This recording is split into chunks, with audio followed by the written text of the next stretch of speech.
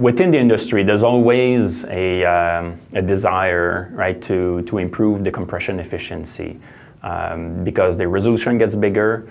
Uh, so even if there's actually uh, the storage within the industry and the bandwidth becomes more and more available and the storage is, is actually more and more affordable uh, in terms of large storage, it's still not growing as fast as the amount of video that needs to be streamed and captured and stored. So, so there's always a strong need to have better efficiency within the compression uh, to be able to use not only the infrastructure in place, but to support the newer resolution that are, that are coming up, right? Uh, 4K, 8K, 16K, and, and so on.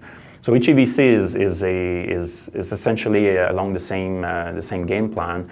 Um, so it's a, it's a new uh, compression technique. Um, it's not based on 264, but it reuses some of the, the concept of uh, you know H264.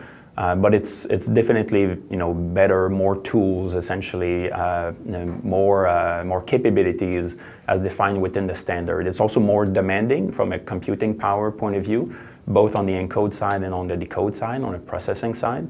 Uh, but it gives you between 20 to 50% bitrate reduction for the same picture quality.